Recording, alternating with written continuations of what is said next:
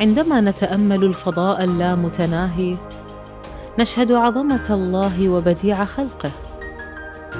نتساءل كيف تكون هذه المكونات بهذا النظام والانسجام؟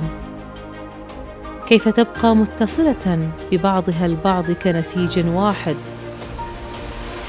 كيف تترابط وتتعاون للبقاء ومواجهة كل ما يهدد الوجود؟ فالكون كله كسبحة واحدة يربطها خيط واحد. إلا أن واقعنا يشهد الكثير من الارتباطات السلبية والمدمرة ارتباطات قائمة على المصالح الشخصية والغايات الفاسدة.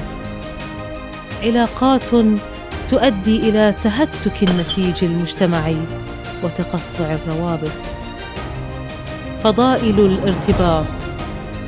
تتعلق بالطريقة التي يتعامل بها بعضنا مع بعض.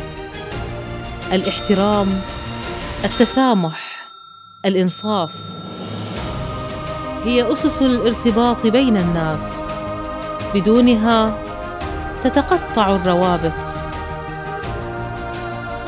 وتنمحي الثقة والمودات. وتظهر الخصومات والقطيعة. مقارنة بجلال الكون وسعته. فنحن ومجرتنا مجرد جرم مجهري ولكنه وجود من أجلنا. لأن هذا الكون هو الذي وجدنا فيه. نحن سبب وجوده ومسؤولون عنه وعن الارتباطات بين مكوناته. الحياة القائمة على احترام إنسانية الإنسان هي الحياة الوحيدة الجديرة بتقدير رب الأكوان. ومن يحيا هذه الحياة سيكون قد حقق رسالة وجوده.